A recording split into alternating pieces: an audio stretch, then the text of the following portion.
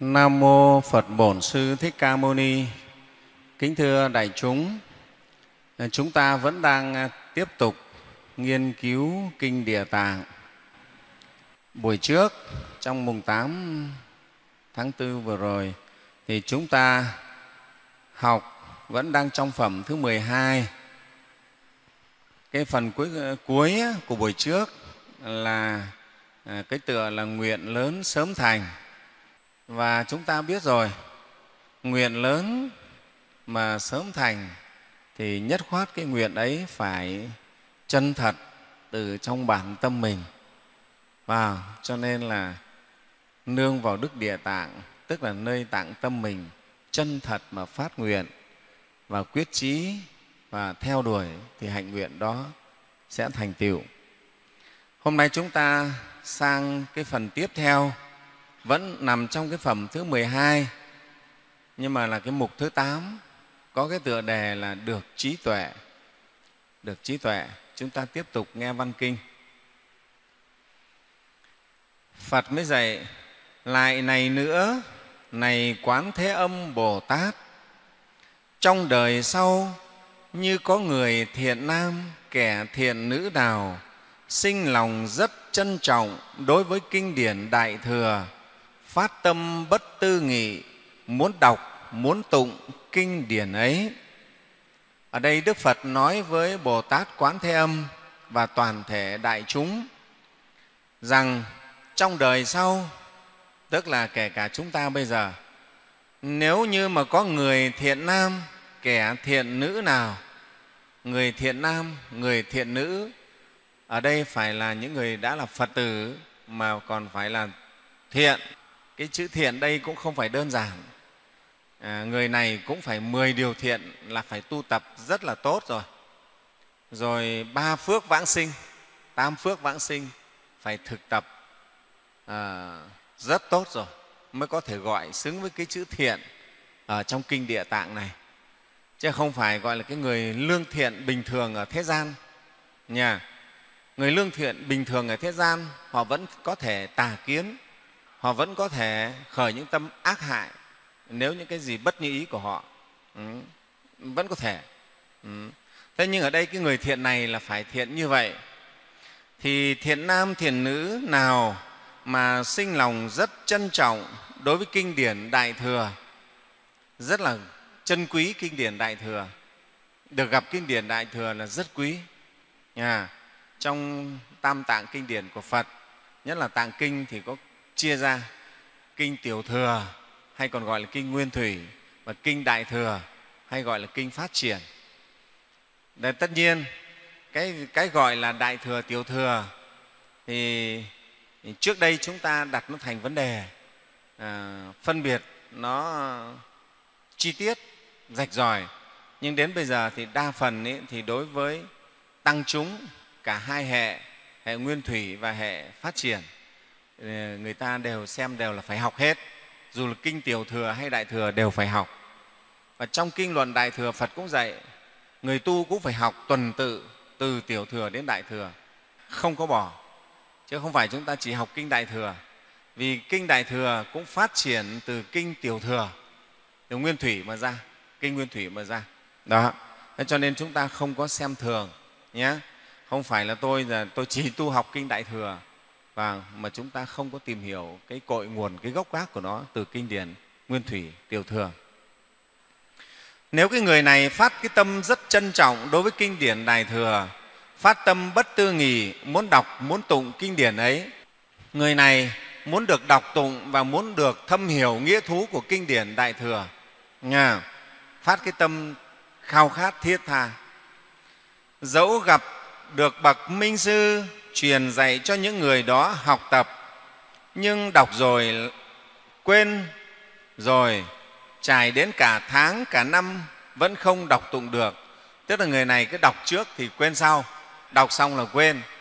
Ờ, gặp cả minh sư, gặp thầy giỏi, thầy sáng, chỉ dạy cho mình cách tu, cách học, nhưng mà tâm thiết tha lắm, mà rồi cứ đọc trước quên sau. ở đây đọc ờ, ở đây trong kinh nói là nhưng đọc rồi quên và rồi đọc rồi quên trải đến cả tháng cả năm vẫn không đọc tụng được. À, đọc câu trước quên câu câu sau. Cái này bây giờ là chúng ta mắc nhiều không? Có. Cái tuổi nhất là ờ, cái tuổi các ừ, cô các chú lớn lớn rồi. Năm mấy sáu mươi là bắt đầu đọc kinh nó không vào nữa. Tuổi trẻ như mấy chú nhỏ đây thì có thể vào. Lớn tuổi là đọc trước quên sau đó.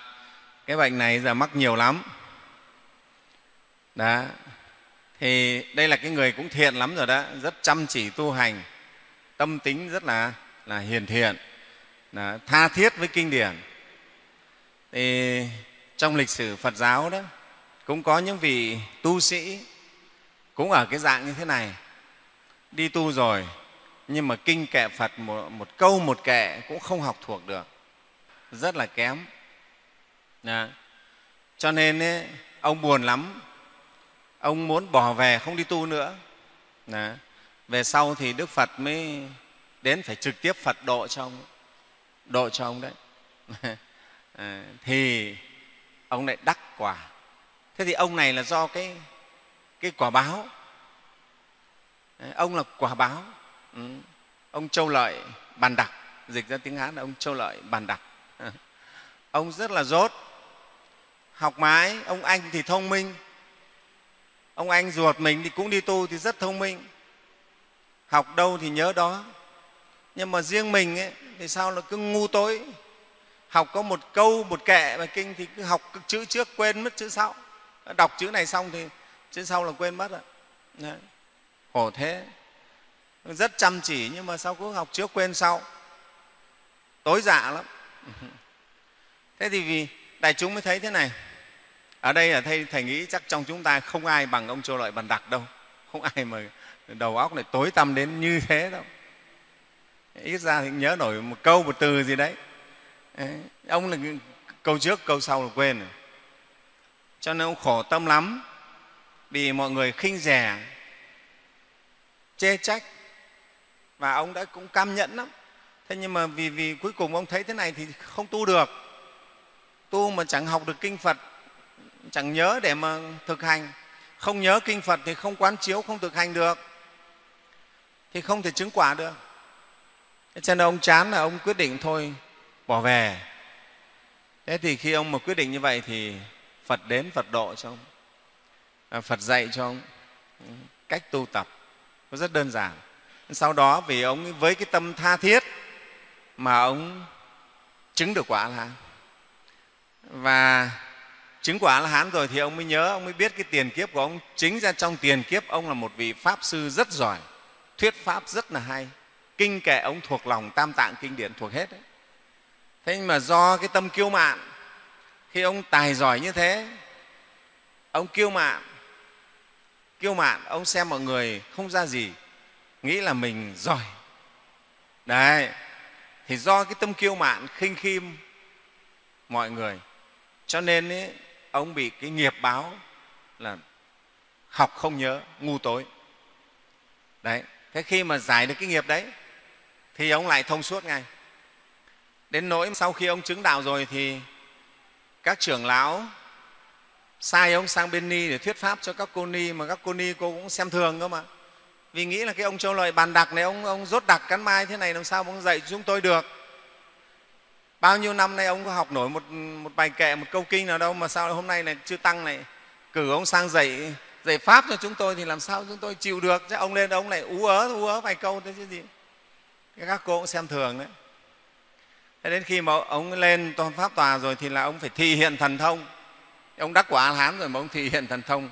Sau đó ông thuyết pháp như gọi là như như suối đổ ấy. Giao bắt đầu các cô lúc ấy mới thấy mới nề phục. Như vậy kính thưa đại chúng qua học phật pháp thì ta thấy sao? Cái ngu dốt nhiều khi là cái phần nghiệp báo mà đúng đa phần là nghiệp báo. Cũng có người á, thì do lười biếng mà mà dốt nát. Nhưng đa phần hiện đời là cái nghiệp báo khiến mình bị ngu dốt. Chứ không hẳn về tiền kiếp người này đã ngu dốt đâu. Thì chúng ta không xem thường ai đấy, chính ông châu lợi bàn đặc trong tiền kiếp xem thường mọi người, khinh khi mọi người, cho nên kiếp sau bị quả báo, ngu dốt. Đó. Cho nên chúng ta như thế này, nếu mà nhìn về nghiệp báo thì nó là bình đẳng. Ông bị trả quả. Thế nhưng chúng ta khi nhìn về sâu xa thì biết để chúng ta không xem thường ai. Chân phật dạy đấy, trong kinh diệu pháp liên hoa có bồ tát thường bất khinh, thường bất khinh đấy. Ngài đi đâu, ngài gặp ai, ngài cũng chắp tay xá chào xá lạy tôi không dám khinh các ngài đâu. Các ngài rồi đều sẽ thành phật. Không khinh ai cả. Không khinh ai. Thế cho nên chúng ta cũng phải học cái hạnh này. À, chúng ta giỏi giỏi một chút cũng đừng khinh thường ai. Tâm lúc nào mình cũng khiêm hạ kính trọng mọi người. Nghe không? đấy mới là con phật. Đối với tất cả nhé từ trưởng đạo tràng cho đến tất cả đều xem trân trọng mọi người. Nghe không? là con phật thì tấm lòng mình, tâm mình ở đâu cũng thế, cũng thường cung kính, khiêm hạ, không xem thường ai. Chúng ta tu cái đức đấy mới là đức của người con phật. Và mình biết rằng tất cả mọi người đều sẽ thành phật. Đấy, đều sẽ thành phật đấy. Trên nói là phật vị lai. Phật vị lai đâu? Tất cả đây đều sẽ là phật vị lai phật. Nghe không? cho nên khi chúng ta trí tâm đảnh lễ tất cả chư phật gì? Vị lai thì là đảnh lễ trong đây lễ cả chúng ta. Đấy. Cho nên thầy cũng nói thầy cũng lễ các phật tử. Hay hòa thượng tuyên hóa cũng nói cũng lễ các vị đấy. Tôi cũng lễ các vị vị lai. Phật vị lai cho đến nếu, nếu xét như thế tất cả các cái con vật cũng thế thôi. Tương lai đều sẽ thành phật. Nó sẽ thành phật. Nha nếu mà mình biết là tương lai, trong tương lai nó sẽ thành phật, thì tự nhiên mình cũng không xem thường họ. Chính vì lẽ đó mà chúng ta tôn trọng và bình đẳng với tất cả muôn loài. Không ác hại họ, không đánh đập họ. Con vật mình nuôi, mình, tuy mình nuôi nó là cái nghiệp, nó phải làm con vật. Biết đâu kiếp trước nó là người và nhưng vì nghiệp ác nó phải làm con thú, con vật. Cho nên mình cũng không sát hại nó. Không xem thường nó vẫn chân quý muôn loài. Đấy cho nên với cái thế giới quan của đạo phật chúng ta nhìn tất cả muôn loài đều thương yêu bình đẳng tôn trọng mọi sự sống của muôn loài. Đấy cái đó làm nên cái hòa bình cho thế giới. Đấy. nếu chúng ta cứ với con mắt tôi là loài người loài người là chúa tể của tất cả muôn loài là người có quyền giết hại muôn loài để ăn thịt à, là chúa tể mà tự đặt cho mình vào cái địa vị chúa tể. Đã có nhiều những quyển sách nhiều những cái bài văn mà xếp con người chúng ta vào chúa tể của muôn loài. Con sư tử là chúa tể của rừng xanh nhưng loài người là chúa tể của muôn loài. Xếp mình vào cái địa vị đấy và cho mình cái quyền có thể uh, giết hại tất cả các loài. Mình được quyền đấy đấy chúng ta thấy chúng ta tự tôn mình gớm ghê không? Thực ra mình còn thua mấy ông thần thua mấy ông trời rất nhiều. Thua mấy ông trời. mình thần thông không có. Trí tuệ gọi là tha tâm huệ nhãn không có. Không có được như các vị. Các vị hơn mình. Thế nhưng mình đã xưng mình là chúa tể mỗi loài rồi. Cho nên từ đó là, là, là cứ cho mình có quyền đàn áp tất cả các loài khác. Nghe không? Đó. Thì cái này là cái quan niệm sai lầm. Với đạo phật là tất cả mọi sự sống đều chân quý đều bình đẳng. Và đều bình đẳng đấy. Ừ.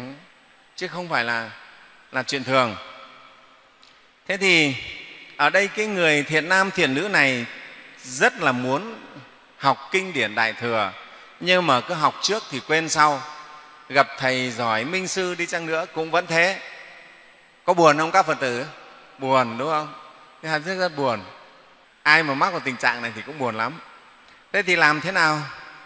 Những kẻ thiện nam đó, thiện nữ đó vì có nghiệp chướng đời trước chưa trừ sạch đấy, đức phật dạy đấy. Những kẻ thiện nam thiện nữ đó vì có nghiệp chướng đời trước, chưa trừ sạch, cho nên ở nơi kinh điển đại thừa không có công năng đọc tụng. Nghe không? người này trong tiền kiếp có ác nghiệp với với giáo pháp của phật, hoặc khinh chê. Nghe không? khinh chê giáo pháp của phật đấy, hoặc kiêu mạn, hoặc mình thuyết pháp sai lầm trong tiền kiếp. Đấy. Khinh chê giáo pháp của phật. Thấy người ta đi học pháp thế này phỉ báng. Đấy, bây giờ có những ai đấy ờ, có khi đang ngồi, đang buôn bán ở dưới chợ hạ long chẳng hạn. Này bảo mấy cái mấy cái đứa này là điên. Vào nóng như thế này, đang ngồi ở nhà quạt mát vào, rồi là xem tivi lại kéo nhau chui lên chùa cho nóng rồi mà ngồi ê hết cả mình mẩy đấy, phải không? nghe kinh pháp cái gì trả ra đồng tiền nào. Ngồi ở cửa hàng còn bán ngày được vài trăm thế lên đây ngồi thì chả được cái gì cả. Chê bai những người đi học pháp. Họ không biết đấy. Nó chỉ có khi là vô vô tình mà nói như thế. Ừ. Nhưng mà rồi cũng có cái báo đấy. Thế còn một chú ý chê bai này rêu rao nữa. Thế rồi lại lôi kéo một người, thôi đừng đi. Đấy. tức là đi học cái phật pháp làm gì? Mất công vô ích, ở nhà đi làm ra tiền. Còn có tiền để mà ăn. Đấy tức là xem thường pháp phật không chân quý. Ở đây thầy nói là thật sự rất là đáng nể, rất nhiều phật tử nghèo khổ xa xôi. Nhưng mà nghe đến cái thời giảng pháp của chùa, họ dành dụm tiền bạc, họ về đi, để dành tiền mua, đi xe về về để mà mà tu học. Thế và cũng đặc biệt, thưa các phật tử, là à, chùa mình cũng thế, có một số thí chủ, họ có tâm lắm họ muốn khuyến khích tất cả các phật tử đi học. Cho nên họ có nói với thầy là họ sẽ phát tâm ủng hộ kinh phí để cho thuê xe. Những ai khó khăn, họ sẽ ủng hộ. Tất cả trong các đạo tràng chứ không phải riêng đạo tràng nào, của chùa. Nếu mà khó khăn trong việc kinh phí đi học là họ ủng hộ, xin, họ xin được làm cái công đức này. Họ ủng hộ cái phần đó, cho họ được cúng dường cái phần xe đấy, thế cho nên đạo tràng nào cũng thế, các đạo tràng ở đây, các trưởng đạo tràng cũng nhân đây cứ khuyến khích tất cả, nhé. Đặc biệt là thanh niên, thiếu niên, nhi đồng, là họ ủng hộ hết. Cháu nào đi nghe pháp mà không bao giờ phải đóng, nhé. Ở đây nhé, mấy chú trưởng đạo tràng đây này, chú trương rồi là các chú chú vũ các thứ, nhé. Tất cả các đạo tràng của chùa, không phải riêng đạo tràng nào. Thanh niên, chưa công an việc việc làm, học sinh sinh viên thiếu niên nhi đồng mà đi học pháp cứ cho lên cứ thuê xe đấy. Nha các thí chủ này ta họ xin được đài thọ hết. Ai khó khăn mà muốn đi học pháp nha đi hết. Họ ủng hộ hết. Đấy, thì các trưởng đạo tràng cứ ghi vào ghi cho đúng. Nha. thế còn chúng ta có điều kiện đóng góp thì chúng ta cứ đóng góp nha. Họ sẽ ủng hộ tài trợ. Đấy họ họ xin được làm cái công đức đó đại chúng hoan hỉ nhé tùy hỷ công đức với họ nhé với các thí chủ này. Họ cũng đề nghị thầy là thầy giấu tên. Xin thầy giấu tên chúng con, không ờ, không cho biết.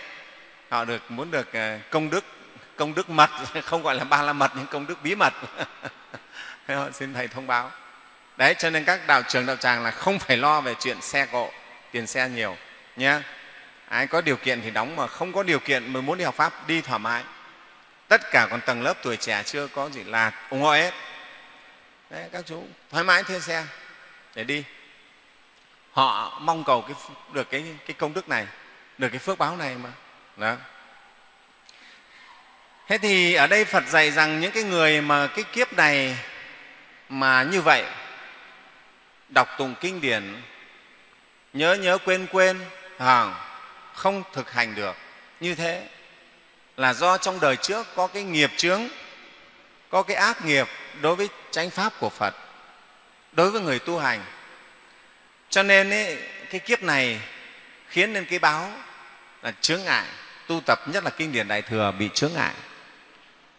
Những hạng người này khi nghe danh hiệu của ngài địa tạng bồ tát cùng thấy hình tượng của ngài địa tạng bồ tát đem hết bổn tâm của mình mà cung kính bày tỏ với bồ tát rồi dùng hương hoa y phục, đồ ăn, tất cả đồ ngoạ cụ, vân vân, cúng dường hình tượng của bồ tát.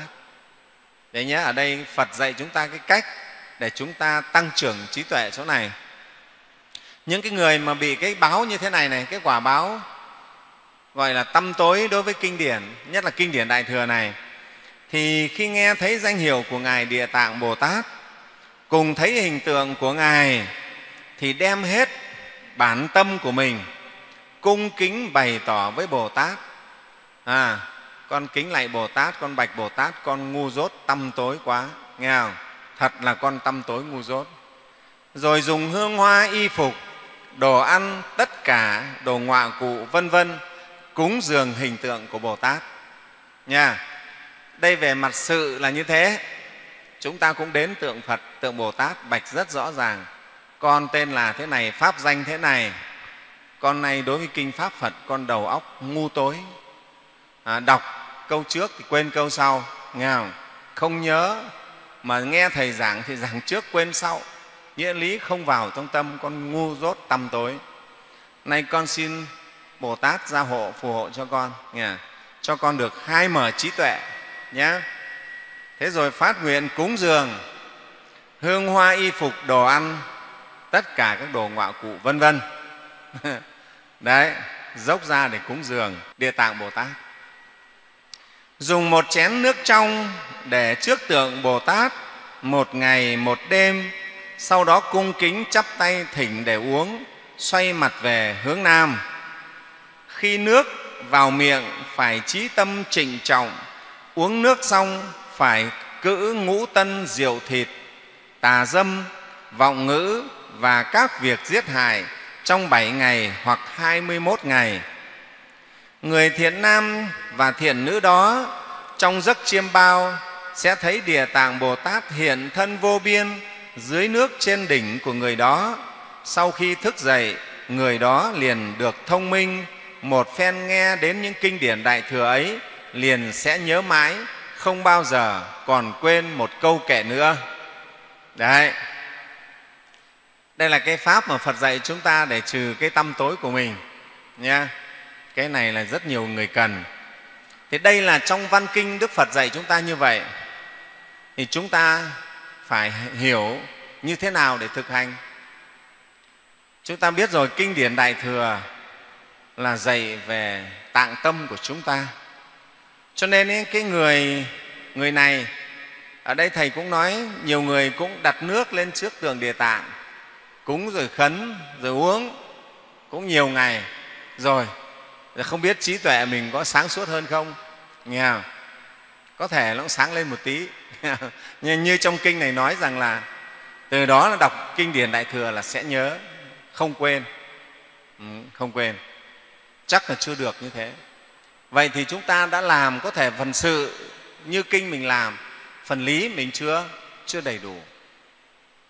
Ở đây nhé về phần lý của đạo ở chỗ này là thế nào? Cái người mà tâm tối thế này, tức là người cũng chúng ta thường không quay về quán tâm mình. Cho nên khi nghe đến danh hiệu của bồ tát địa tạng, thấy hình tượng của ngài, thì phải đem hết bản tâm cung kính bày tỏ. Tức này, người này phải quyết định quay về quán tâm của mình, cung kính tâm của mình, tu tâm của mình đấy nhé phải thật sự quay về điều phục tâm của mình, rồi dùng hương hoa y phục đồ ăn. Tất cả các thứ này để cúng dường lên lên bồ tát. Nói hương hoa này, ở đây thầy cũng nói không phải chỉ là hương trần này và hoa này đâu. Hương hoa trong phật pháp, ví dụ là gì? Hương là hương gì? Là ngũ phần hương đấy, giới hương định hương đấy. Đấy mới là cái hương mà trong phật pháp tuệ hương giới đình tuệ những cái đó đó nhé sẽ thực tập cái này. Mình phải lấy giới hương bắt đầu từ hôm nay con tu tập giới rồi con phải tu tập thiền định để cho tâm con nó định tỉnh đấy rồi từ đó mà trí tuệ nó phát sinh. Đấy là phần hương. Nghe đó. rồi phần hoa à, chúng ta phải làm nhiều những việc thiện công đức đấy là phần hoa. Y phục là gì? Y phục trong đạo phật không phải là chỉ là cái áo này đâu. Đó phải là cái tâm nhu hòa nhẫn nhục. Đấy, mình phải tu tập cái này. Nghe không? Chứ không phải các phật tử về rồi mua mấy sấp vải rồi mang lên đặt trước tượng bồ tát rồi con cúng địa tạng để con xin con thông minh. Nghe không? Không hẳn là như thế. Phải lý sự đầy đủ. Đồ ăn đồ ăn tức là mạng sống của mình mình phải dám dâng tất cả cái sự chân thành chân thật của con. Con nhất quyết con sẽ tu phật pháp. Con thấy phật pháp là cao quý rồi. Con dốc lòng con tu tập phật pháp. Đấy cúng dường lên địa tạng. Tức là đây đem tất cả thân tâm mình tu tập chân thật. Chén nước trong á, để cúng phật à, cúng bồ tát rồi mình uống thì sao? Đấy nước trong tức là thể hiện sự trong sạch của tâm hồn mình vẫn gọi là tinh thủy nghe không? Và chúng ta uống tức là chúng ta phải uống nước rồi đừng có để rớt ra ngoài. Và giống như là nghe pháp là phải lắng tâm mình để nghe pháp đừng để tâm nó lơ đễnh lơ đễnh là nước pháp chảy hết ra ngoài không vào trong tâm mình thế cho nên cái chén nước này cũng thế chứ không phải chỉ là uống nước cúng phật. Ngày nào cũng nước cúng phật có người tham thì giờ không phải để một chén họ để cả một cái tô thật to. Để con uống nhiều cho nó nhanh thông minh. Đấy lại là tham mà cái tâm tham như thế thì lại không được. Đấy tham sân che lấp mất châm tí, tâm trí của mình mà. Cái tâm của mình nó tăm tối là do do ba độc tham sân si. Thế bây giờ nghe thấy phật bảo cứ để chén nước lên đấy cúng phật, khấn phật xong rồi uống cho mình thông minh. Thế thì không phải một chén mà lấy hẳn một tô, một thau. Để trước phật xong rồi uống. Thế thì cái tâm tham nó lại khởi lên rồi. Đấy không? Nên chúng ta thế. Cho nên nhiều khi học phật ấy không hiểu không hiểu rõ. Tu phật là diệt ba độc, trừ tham sân si. Tham sân si mình diệt thì lòng mình nó mới quang sáng ra được. Đấy, chúng ta vì tham sân si vọng động cho nên tâm trí dần dần nó mờ tối. Nó như vậy đấy. Lòng mình nó không thanh thản, không an tĩnh được, thì trí tuệ không có. Còn tâm người ta thành thơi, vào, người ta không có những cái tham sân si nhiều, thì nó nó trong sáng cái tâm. Cái tâm chúng ta như hồ nước suốt ngày sôi động, vào. Bùn đất đục ngầu hết cả, thì làm gì mà trong sáng được? Đó, cho nên cái chỗ này, cái nước để cúng phật này, phải nhớ cái nước là như vậy. Tịnh thủy, tức là tâm giữ cho tâm mình, nó thanh tịnh, nó trong sạch. Uống cái nước này, nghe không? Rồi chắp tay về hướng nam, thì chúng ta biết hướng nam là hướng gì? Cái hướng nam này là hướng, gọi là hướng hỏa. Hỏa tức là gì? Nhiệt thành.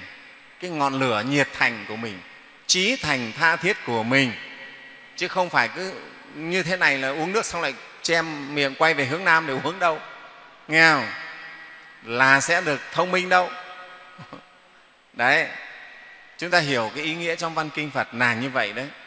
Ừ. tức là người này toàn tâm toàn ý về sự tu tập thì nó mới khai mở trí tuệ được. Không phải đơn giản thưa đại chúng, nhé. Và uống nước này với cái tâm trình trọng.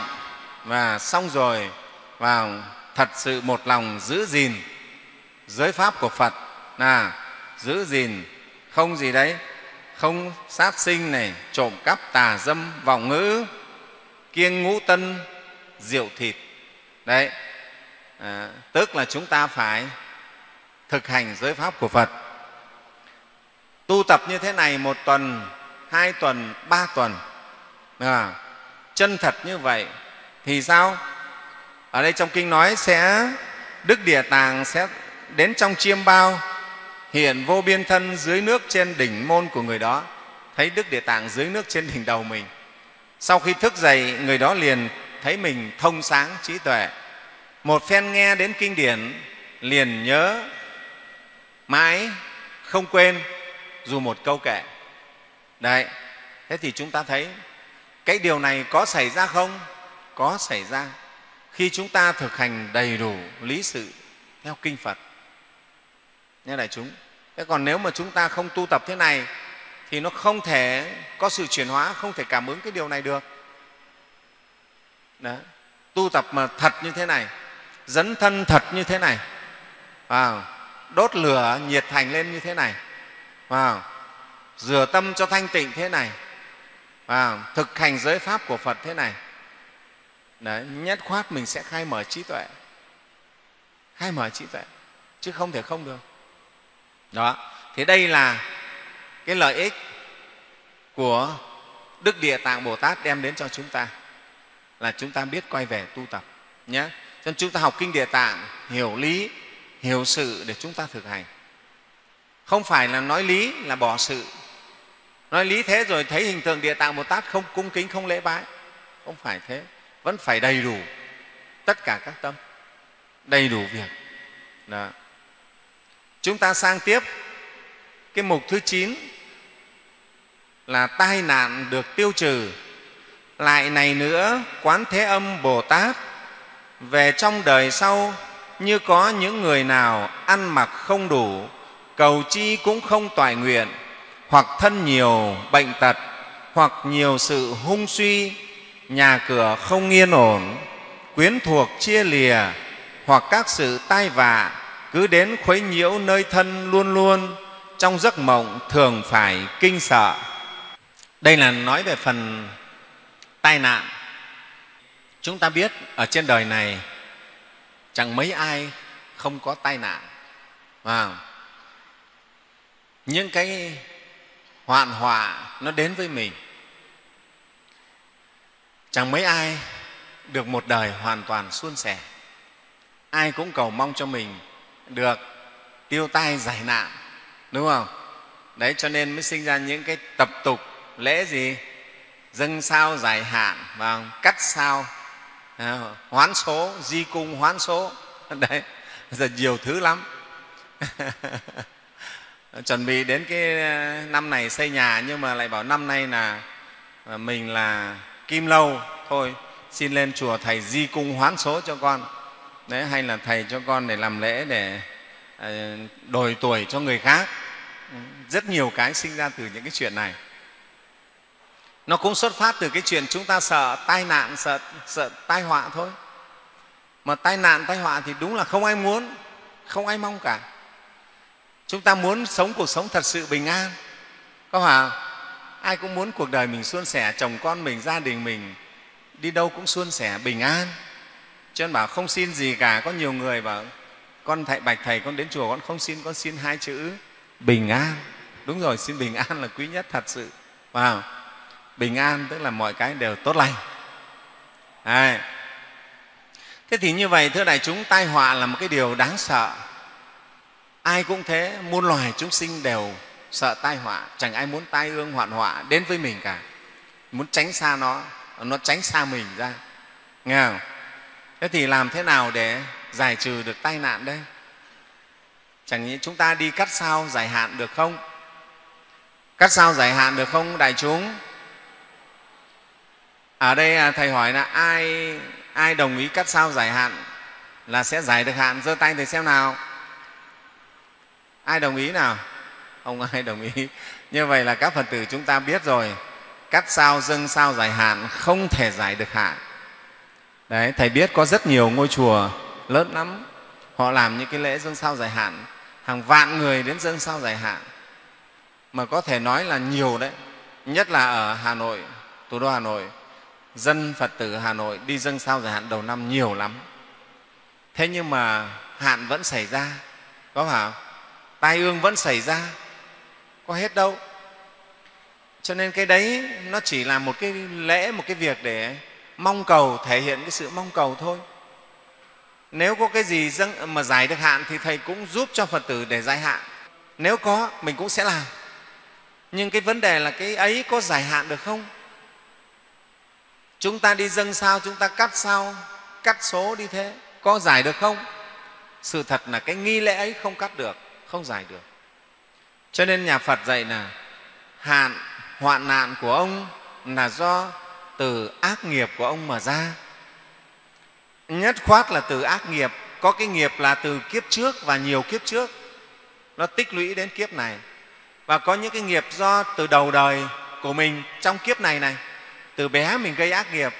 Mà đến năm nay 49 tuổi nó trổ ra cái quả này thì cũng là cái nghiệp nghiệp cũ thôi. Nhưng nghiệp của đời này cái nghiệp nghĩa là gì? Là cái việc có thể vừa mới làm phút trước, giờ trước cũng trở thành nghiệp hết. Đấy. Cho nên chúng ta nhớ này, khi mà quán chiếu về, cái thời gian dòng nhân quả, chúng ta thấy chúng ta luôn luôn là kết quả của giây phút trước, giờ phút trước. Ngay phút trước, giây trước, mình đang là kết quả của nó. Và mình lại đang là tạo tác cho giây phút sau, kế tiếp ngay, và cho tương lai. Đấy. Chúng ta là như vậy đấy chúng ta đang đứng đứng ở cái chỗ này mà nhất cử nhất động của mình vừa ảnh hưởng của cái quá khứ. Quá khứ là ngay cái giây vừa mới xảy ra và lại chúng ta ảnh hưởng đến cái tương lai là ngay cái giây tiếp theo của mình. Đấy nếu một quán sâu xa về nó phải như vậy đấy. Chúng ta là một điểm trong dòng thời gian nhân quả này. À, nhất cử nhất động tâm niệm chúng ta đều tạo nên ừ, cái năng lực quán tính. Quán tính này tạo thành nghiệp và nghiệp ấy nó tác động lại chính chúng ta ngay. Thế thưa đại chúng thế thì có cái gì mà ra ngoài nhân quả được đâu? Thế cho nên ấy, tai họa của mình cũng nằm trong nhân quả. Nghe à? có thể nhân ấy từ kiếp trước có thể nhân ấy trong kiếp này mà sinh ra cái quả bây giờ. Đấy cái nhân cũng có thể vì vừa nãy anh ăn tiệc ăn anh uống nhiều rượu quá cho nên giờ đi đường anh bị tai nạn thì không thể là đổ tại chỉ hoàn toàn do kiếp trước. Vì vừa anh uống rượu say, cái uống rượu say của anh ấy, anh không làm chủ mình, anh quá chén. Người ta mời người ta tâng bốc mà lại có mấy cô xinh xinh bên cạnh, cô cứ chuốc cho thế là uống. Anh hùng lên, uống say mềm ra rồi cầm vô lăng lên ở xe là tai nạn cái chuyện không đổ nhân kiếp trước, nhân kiếp này. Vừa mấy nãy ăn cơm xong, uống rượu xong, chuẩn bị quả báo đấy đấy là nhân quả chứ, không ra ngoài nhân quả đâu. Thế như vậy này, chúng mới thấy chúng ta phải có trách nhiệm với tất cả hành vi của mình.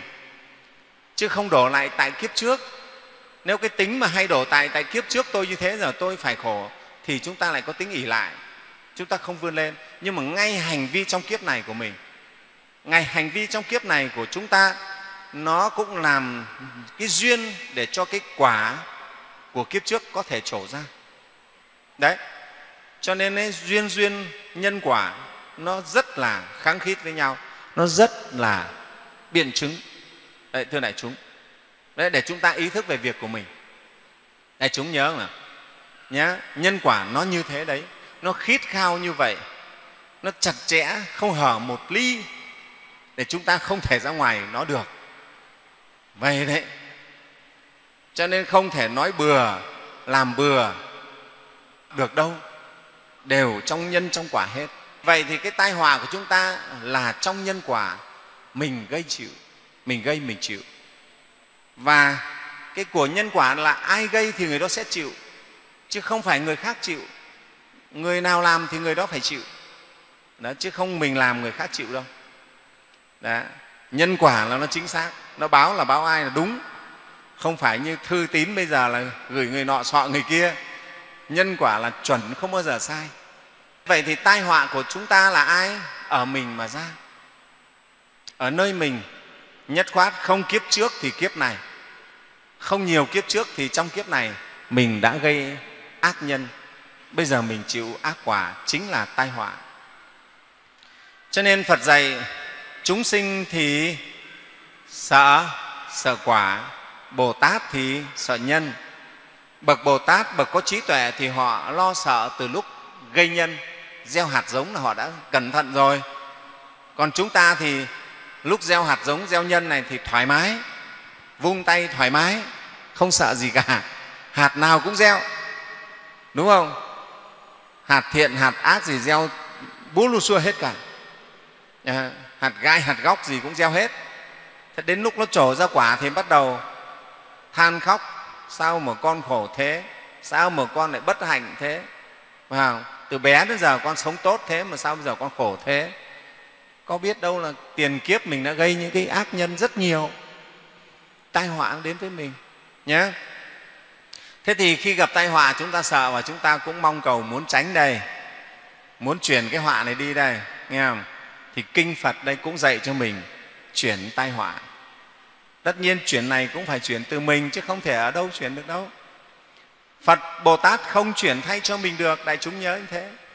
Phật bồ tát không chuyển thay được vì mình cứ suy lý thế này. Nếu phật bồ tát mà chuyển được tai họa cho chúng ta, thì chúng ta không ai còn khổ nữa rồi. Nghe không?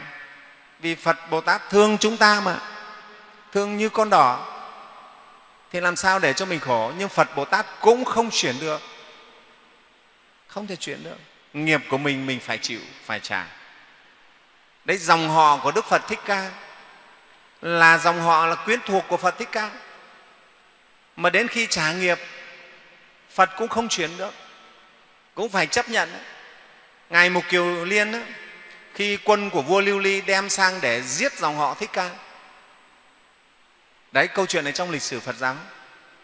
Vua lưu ly đem quân sang đánh chiếm và giết hết dòng họ thích ca thì đã giết được rất nhiều còn lại một số thân quyến của, của đức phật. Thì ông mục kiều liên ấy, đại thần thông mục kiều liên bây giờ mà không biết làm nào trốn đâu những người này trốn đâu không được với nó rồi.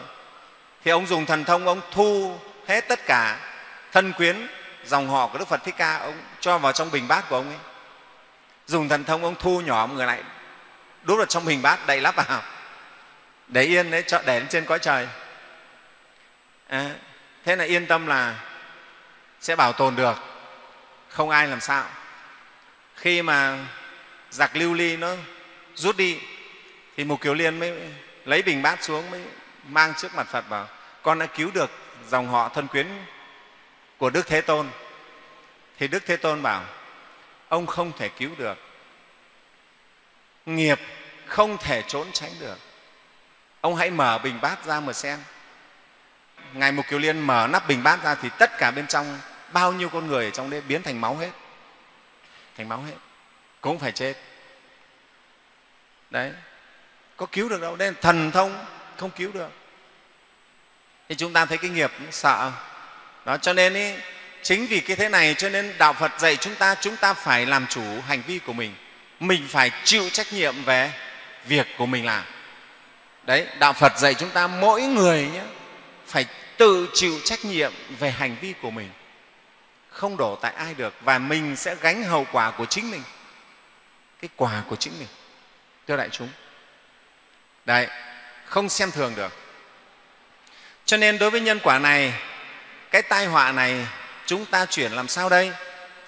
Phật dạy trong đời sau những người mà ăn mặc không đầy đủ à, ăn mặc không đầy đủ người nghèo khổ túng thiếu bây giờ thì cái thời buổi này, cơ bản chúng ta ăn và mặc thì cũng không đến nỗi rồi. Cách đây một vài chục năm thì nhiều nhà ăn không có, mặc không đủ, phải mặc áo rách, áo vá. Nhưng bây giờ thì chúng ta gần như không ai phải mặc áo rách, áo vá. Chỉ có cái đám thanh niên bây giờ nó mặc quần rách thôi. Đúng không? Quần vá, quần rách. Quần lành nó xé thành quần rách. Mài đi cho rách hết ra à, có ông ở đây chúng thanh niên bây giờ nó lại không thích mặc quần lành mặc quần rách. Bây giờ là nó thích rách chứ không phải nó như ngày xưa mình mình à, mình sợ rách. Giờ thanh niên thích mặc quần rách. Quần lành nó xẻ ra nó mài thùng ra. Đấy. Thế thì những người mà ăn mặc không đủ tức là người rất nghèo ăn không đủ mặc không đủ cầu chi cũng không toại nguyện cầu mong điều gì cũng không toại nguyện đấy, thầy tin là các phật tử đi chùa lễ phật, cầu cũng nhiều đấy không biết nhưng mà điểm lại mình được tọa nguyện bao nhiêu cái nghe không? cầu cả trăm điều mà giỏi lắm được vài ba điều nghe không? thế còn cái người này là cầu gì cũng không được Đấy. mà cái người mà đi phật, đi chùa lễ phật cầu mãi không được, người ta sẽ chán phật, chán chùa tâm lý thường là như thế đúng không? Chúng ta đi vài lần nghe thầy thái minh giảng thì hay thế mà sao mình cầu mãi khấn mãi chả thấy được cái gì. Thôi. Thôi ở nhà đi buôn. Đấy, cái tâm lý thường thế. Đi vài lần cầu khấn không được là thấy chán. Thế còn đi một lần đầu tiên mà cầu cái được ngay thì phấn khởi không lần sau là đi nhiệt tình. Đấy, cái tâm lý thường là thế thế nhưng mà chúng ta biết rồi, cái cầu khấn được cũng đâu có phải là là chuyện tự nhiên mà được đâu, may mà được đâu. Trong nhân quả hết đấy. Hôm trước thầy đã giảng cái đĩa cầu nguyện thành tựu đấy. Cầu nguyện như thế nào để thành tựu? Nó phải có cái nhân duyên của nó. Chứ không phải là cứ cầu là được. Nếu mà cầu là được thì sao? Mấy ông thầy cúng không phải đi cầu cho ai. Mấy ông thầy cúng thuê đấy các phật tử, các đoàn vẫn đi, vẫn mời một ông thầy khấn, thầy cầu, đi cùng đoàn mình để khấn cầu. Thế thì chúng ta biết ngay rồi, nếu cầu không, khấn không mà được, thì mấy cái ông thầy khấn cầu thuê đấy. Ông không phải đi khấn thuê nữa vì ông khấn giỏi nhất, đúng không? Là ông phải khấn cho ông được hết rồi. Thế thì chúng ta biết ông vẫn còn phải đi làm thuê cho mọi người. Đi cúng thuê, khấn thuê, thì biết rằng là khấn không được khấn không là không được để khấn mà được nó phải nhiều yếu tố lắm. Hoặc thân có nhiều bệnh tật hoặc nhiều sự hung suy à, hung suy suy là kém đi hung là những cái điều ác điều điều đáng sợ gọi là hung. Nhà cửa thì không yên ổn quyến thuộc thì chia lìa hoặc các sự tai vạ cứ đến khuấy nhiễu ở nơi thân luôn luôn mình liên tiếp gặp tai họa gọi là tai bay vạ gió. Đến trong giấc mộng cũng thường phải kinh sợ. Đấy một người nếu mà một người nào mà nếm đủ những cái tai họa này thì đúng là thật là đau khổ nghèo khổ túng thiếu rồi bệnh tật ốm đau tai nạn. Nhà cửa thì bất an quyến thuộc thì chia lìa. À, tai họa tai vạ thì đến thường xuyên ngủ cũng không yên người này thì khổ lắm, rất là khổ. Mà thưa đại chúng, ở trên đời này quả thật có những người khổ đến như thế này đấy. Khổ lắm. Kể ra người ta ngày từ sinh, bé sinh ra đã là đau khổ rồi. Có những người mà trả những cái quả khủng khiếp đến như vậy. Những người như thế đó thì làm thế nào đây?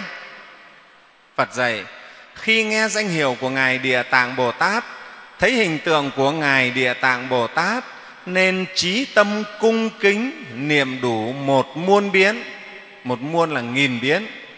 Thời những sự toại, sự không toại ý trên đó sẽ tiêu sạch lần lần, liền được an vui, đồ ăn, đồ mặc dư giả cho đến trong giấc mộng thầy đều an ổn vui vẻ. Đấy, cái cách chuyển nghiệp của chúng ta. Phật dạy đấy nếu gặp hình tượng của bồ tát địa tạng, nghe danh hiệu của địa tạng bồ tát, trí tâm cung kính, niệm đủ một muôn biến. Cái chữ một muôn biến này chúng ta phải hiểu là rất là nhiều. Tức là tâm tâm niệm niệm phải hướng về. Ở đây gặp hình tượng, nghe danh hiệu địa tạng bồ tát tức là gì?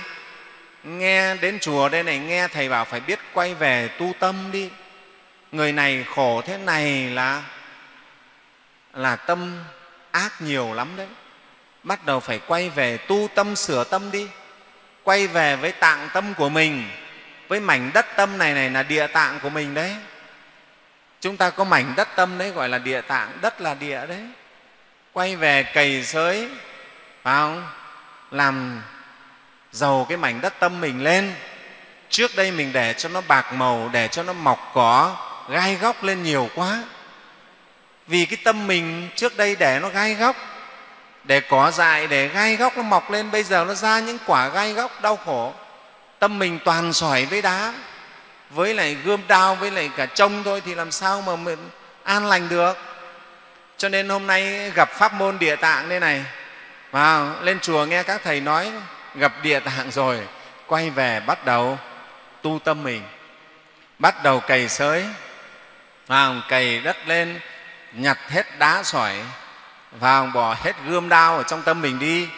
Cỏ dại, cỏ giếc nhặt đi, bắt đầu bón phân cho đất màu vào, làm cho nó màu mỡ cái mảnh đất tâm của mình lên. Rồi gieo hạt giống tốt vào. Phát tâm bồ đề, đấy là gieo những hạt giống tốt. Nghe không? đó, thì đấy là chúng ta niệm niệm muôn nghìn biến ở chỗ đó đấy bắt đầu tâm tâm niệm niệm. Ở đây nói chữ muôn nghìn biến, tức là tâm tâm niệm niệm. À đúng rồi. Thầy nói thế là đúng rồi đấy. Nhất khoát mình khổ, mình gặp tai ương như thế này, nhiều thế này, không thể do ai đâu. Phải ở nơi mình rồi. Bây giờ mình muốn chuyển nó phải chuyển từ tâm mình. Từ tâm mình phải chuyển hóa. Bắt đầu làm mới tâm mình. Dọn sạch tất cả gai góc trong tâm mình gieo hạt giống lành vào tâm mình. Tâm tâm niệm niệm, nghìn muôn biến, tức là tâm tâm niệm niệm, bắt đầu sửa mình. Thì sao? Thời những sự không toại ý trên đó sẽ tiêu sạch dần dần, liền được an vui. Đồ ăn mặc dư giả cho đến trong giấc mộng thầy đều an ổn vui vẻ. Đấy nhá, như vậy đại chúng mới thấy, chỉ một pháp môn địa tạng chuyển hóa số nghiệp của mình. Chuyển từ khổ thành sướng từ đói khát thành no đủ à, từ bất an thành an lạc chỉ ở cái tâm mình thôi chúng ta nhớ cho nên chỗ này này không có ai cho người ta bảo nếu rời tâm mà tu đấy là ngoại đạo đấy. đi tu học phật mà lại cứ lo cái bên ngoài không lo quay về sửa tâm mình nghe không? cho nên ở chùa chúng ta khi thỉnh oan gia trái chủ oan gia trái chủ nào nó cũng nói về nghiệp của mình phải quay về sửa tâm mình, thực hành các công hạnh. Mới được, là phải sửa tâm để chuyển hóa. Đấy. Không còn cứ nói bây giờ bảo đi đến chỗ này, cứ đến chỗ này mà khấn mà cầu là sẽ được, là không phải đâu. Vào tận trong hang núi này, hang núi kia, vào đến đền này, đến mẫu kia để khấn. Cái đó là cầu bên ngoài tâm rồi.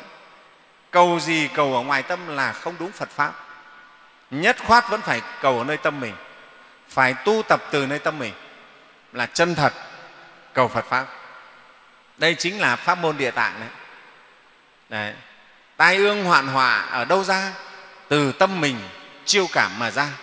Từ cái tâm bất thiện mình chiêu cảm ra tai ương hoạn họa vậy thì bây giờ muốn chuyển nó cũng phải chuyển từ tâm mình không thể khác được. Nha. thế thì đại chúng phải có thời gian chúng ta quay lại ngồi lại kiểm tâm mình. Nghe không mình phải xin trong những cái buổi sinh hoạt của đạo tràng, mỗi mỗi đều đứng lên xin với đạo tràng, xin đại chúng chỉ lỗi cho cho con, cho em, để em nhận ra lỗi lầm mình. Chỉ ra cho em những cái thói hư tật xấu, những tập khí xấu của em, để em sửa thân tâm em. Trong khi sinh hoạt đạo tràng, làm sao các đạo tràng đều có cái mục phát lộ sám hối và kiểm tâm này. Nghe không? vì nhiều khi mình không thể nhận ra được cái tật xấu của mình đâu. Không nhận ra được mình nghĩ mình làm vẫn tốt đấy. Nhưng mà chỉ có huynh đệ có đại chúng người ta mới thấy những cái xấu của mình. Và chân thật mình xin mọi người chỉ lỗi cho mình. Nhé cái này nó đưa vào chứng pháp hành của đại, các đạo tràng. Trong các buổi sinh hoạt hàng tháng ở, ở tại đạo tràng sẽ có thêm cái phần sám hối kiểm điểm kiểm tâm. Nha chúng ta phải thật như vậy. Chúng ta phải nêu ra những cái đức tốt là mình phải thực hiện. À, những cái đức tốt chân thành này vào giữ giới này nghe rồi mình sống yêu thương đùm bọc mọi người. Mình biết hy sinh và mình biết xả thí. Đó, tất cả những cái đức tốt thì mình phải đưa ra. Đấy. Mình phải học nhẫn nhục lắng nghe phải rèn. Đưa vào cái để đấy những cái tốt mình phải học. Những cái xấu mình phải trừ. Cái hay ganh ghét đố kỵ phải trừ cái tham lam ích kỷ mình phải trừ. Vào cái hay sân hận, bực bội phải trừ. Đấy, cái lười biếng phải trừ. Đã. cái hay dối trá phải trừ. Cái hay nịnh bợ phải trừ. Đã. nhiều nhiều cái tật xấu lắm. Cái hay đặt điều cho người phải trừ. Đó, biết bao nhiêu cái phải trừ. Đấy, trừ nó đi. Thì trừ những cái là cái cái họa nó không không xảy đến nữa. Nó sẽ chuyển tâm chuyển là là nghiệp nó phải chuyển thôi. Cho nên trong các cái năng lực ý, thì năng lực của nghiệp rất lớn. Nhưng năng lực của nghiệp lại không bằng năng lực của tâm. Năng lực của tâm là lớn nhất. Đấy gọi là tâm lực. Đại chúng nhớ như thế. Nghiệp là rất lớn. Nhưng mà tâm còn lớn hơn vì nghiệp nằm trong tâm. Đó cho nên chúng ta truyền tâm là sẽ chuyển nghiệp. Đấy đại chúng nhớ thế. Nha. Đấy cho nên bây giờ học được pháp môn địa tạng này, chúng ta biết rằng chúng ta chuyển tai họa, chuyển nghiệp của mình, chuyển hóa đau khổ của mình, phải chuyển từ tâm của mình, từ trong mảnh đất tâm của mình chính là địa tạng. Khi địa tạng bồ tát mà xuất hiện và có đất, có tâm, chưa có bồ tát thì chưa chuyển, nhưng mà có bồ tát địa tạng thì sẽ chuyển. Tâm bồ tát là tâm gì? Là tâm vì chúng sinh. Tâm bồ tát là tâm hy sinh vì người đấy, tâm bồ tát là tâm quảng đại. Chúng ta ai cũng có đất, ai cũng có tâm mà gọi là có địa tạng, nhưng chưa có bồ tát. Bây giờ phải có bồ tát địa tạng nữa. Phải không? tức là phải có cái tâm bồ tát. Bồ tát cũng là bồ đề. Tâm bồ đề, thực hành tâm bồ đề là bồ tát. Bồ tát này thực hiện trên cái đất tâm của chúng ta. Đấy. Bồ tát này cày sới mảnh đất tâm của chúng ta, làm giàu mảnh đất tâm của chúng ta lên, lọc bỏ gai góc trong tâm chúng ta đi và gieo các hạt giống tốt lành, chúng ta sẽ được hái. Hái quả ngọt, trái ngọt. Đấy. Chúng ta sang cái phần thứ 10 thoát khỏi hiểm nguy. Lại này nữa, quán thế âm bồ tát.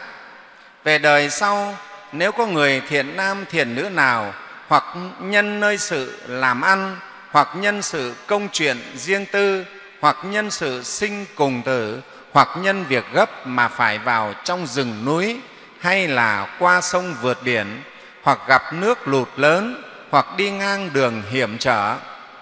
Những người ấy khi đi nên niệm danh hiệu của ngài địa tạng bồ tát một muôn biến. Được thế, thời đi qua nơi nào, chốn nào cũng có các vị quỷ thần hộ vệ. Lúc đi đứng, khi nằm ngồi, đều được an ổn, vui vẻ luôn cho đến dẫu gặp loài hùm sói, sư tử, vân vân, nhưng tất cả thứ độc hại đều không thể phạm đến người đó được. Cái phần thứ 10 nói về việc chúng ta thoát khỏi những cái nguy hiểm.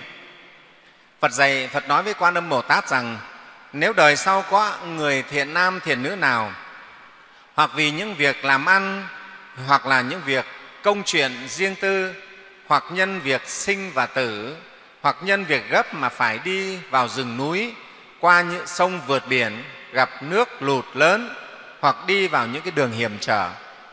Thì khi đi người ấy nên niệm danh hiệu của đức địa tạng bồ tát, một muôn biến.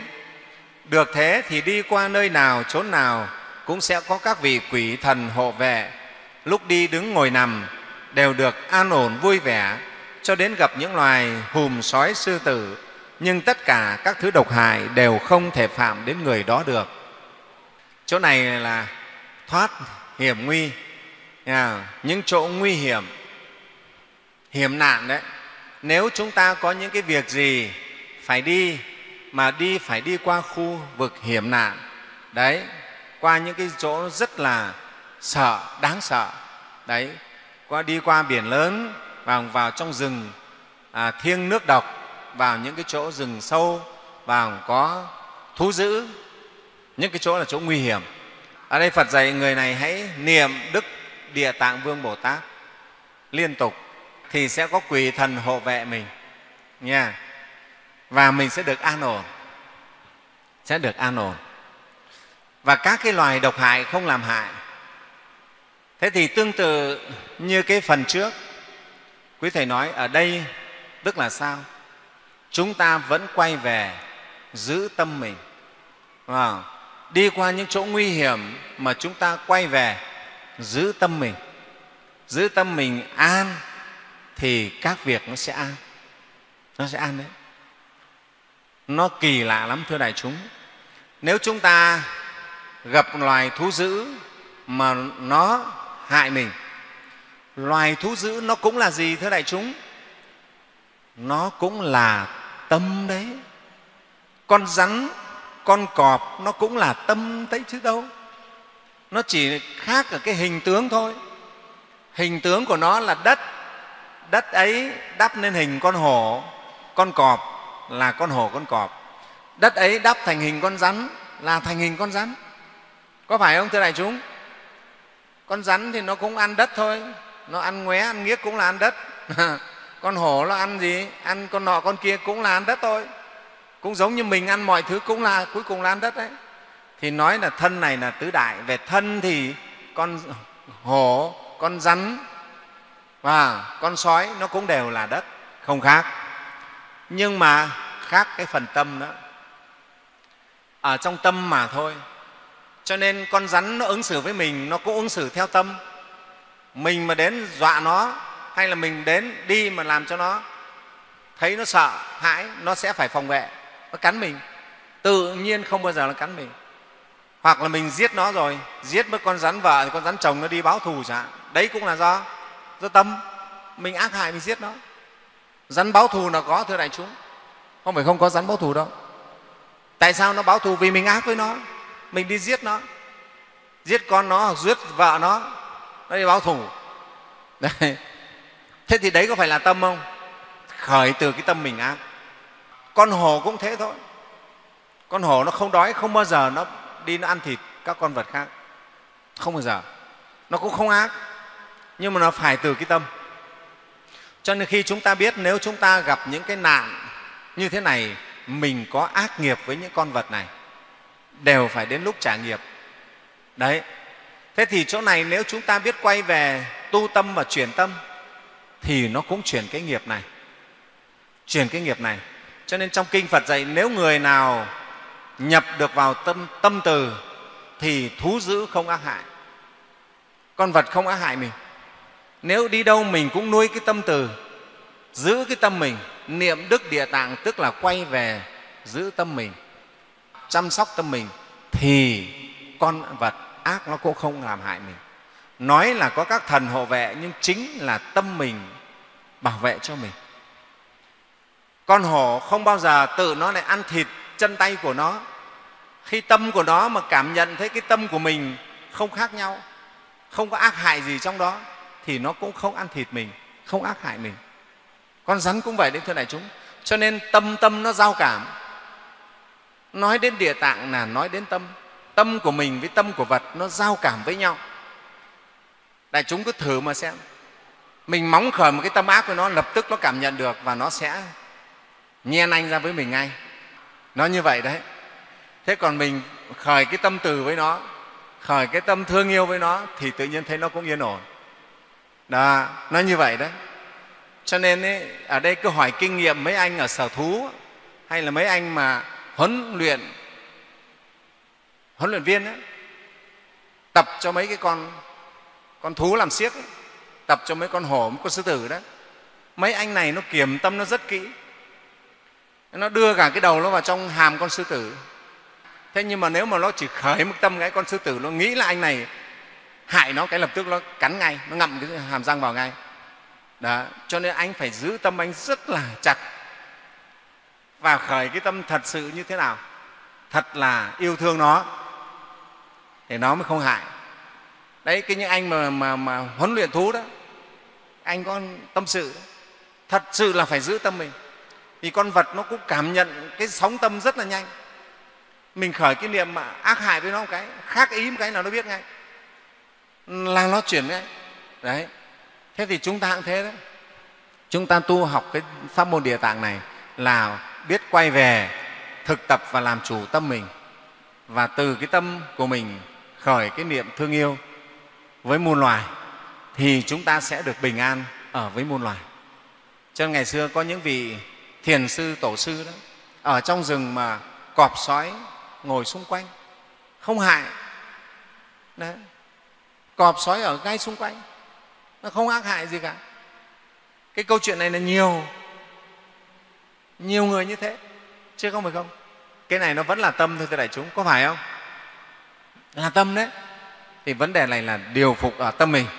Cho nên ấy, nếu ai tu tập được pháp môn địa tạng này thì những cái hiểm nguy hiểm nạn chúng ta cũng vượt qua được vượt qua được. Đây là cái điều đặc biệt. Đức phật bảo ngài quán thế âm bồ tát rằng ngài địa tạng bồ tát có nhân duyên rất lớn với cõi diêm phù đề nếu nói về những sự mà các hàng chúng sinh thấy hình, nghe tên của ngài địa tạng bồ tát được lợi ích, thì giàu nói đến trong trăm nghìn kiếp cũng không hết được. Này quán thế âm bồ tát, vì thế ông nên dùng thần lực mà lưu truyền kinh này, làm cho chúng sinh trong cõi xa bà đây mãi đến trăm ngàn kiếp được hưởng những sự an vui luôn. Đã kết thúc cái phần này, đức phật dạy cho đức quan âm nếu mà nói về các cái sự lợi ích của đức địa tạng bồ tát đối với chúng sinh thì nói đến trăm ngàn kiếp cũng không thể hết được. Và ông nên ý, dùng thần lực của ông mà lưu truyền kinh địa tạng này cho chúng sinh trong cõi xa bà đây đến mãi trăm nghìn kiếp đều được hưởng những sự lợi ích an vui. Cho nên ý, kinh địa tạng là một kinh rất hay của kinh điển đại thừa phật tử chúng ta cũng có duyên nhiều được đọc và được tụng kinh này. Nhưng mà để diễn nghĩa cho hiểu ra sâu xa thì ít thôi. À, đọc kinh hiểu nghĩa và ứng dụng tu hành. Chứ không phải chỉ đọc không. Tất nhiên đọc kinh không thôi thì cũng đã là có cái tốt rồi. Nhưng mà phải hiểu được nghĩa rồi thực hành được nữa thì mới là rốt rạo. Đó. chúng ta nghe kinh địa tạng như vậy chúng ta đã rõ về chỗ này chưa? Đấy, địa tạng là mảnh đất tâm của mình, tâm tạng của mình. Tu phật pháp là phải tu tâm, phải chân thật quay về tâm mình và phải sửa tâm tính mình thật sự.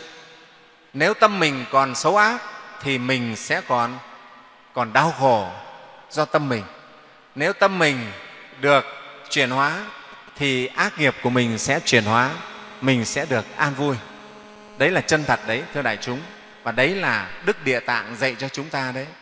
Phật thích ca dạy chúng ta, tu là như vậy đấy, không khác được.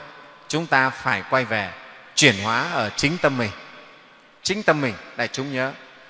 Thế thì chúng ta, qua những cái phần văn kinh này, chúng ta về, chúng ta ứng dụng ngay.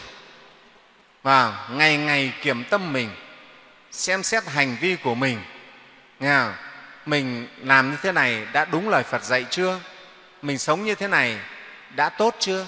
Mọi người nhận xét về mình thế nào? Ngày một ngày mình phải thấy mình tốt hơn tiến bộ hơn. Đó. Mình sống làm sao để cho mọi người thương yêu? Nghe không? sống làm sao hòa hợp với mọi người? Tất cả những cái này là từ tạng tâm của mình mà ra. Cho nên ý, đại chúng phải biết cái tạng tâm của chúng ta nó phủ trùm tất cả vũ trụ vạn hữu này đều nằm trong tâm tạng chúng ta đấy. Cái tâm này nó không phải đơn giản thưa đại chúng. Cho nên tại sao phật này dạy nhất thiết duy tâm tạo? Tất cả đều do tâm tạo tạo ra. Từ núi non trời biển này cũng tâm mà tạo ra. Không có gì lạ đâu. Cho nên ý, biết gốc nguồn nó như thế thì chúng ta phải chuyển hóa tâm mình đẹp xấu hay giờ ở tâm mình mà ra. Vậy muốn được cái hay, cái tốt thì cũng phải cho ta cái tâm hay, tâm tốt. Mình phải rèn cho ta cái tâm hay, tâm tốt. Và thầy tin không ai là không muốn mình được những cái điều hay, điều tốt thì phải phải tu tâm nhé phải sửa tâm mình. Đó là cái mấu chốt của phật pháp đấy.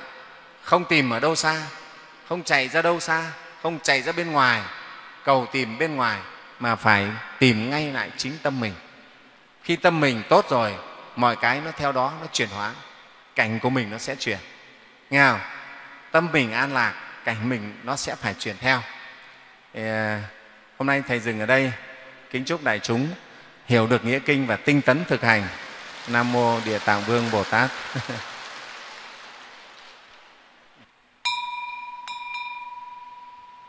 nguyện ờ, đem ờ, công ờ, đức này hướng về khắp tất cả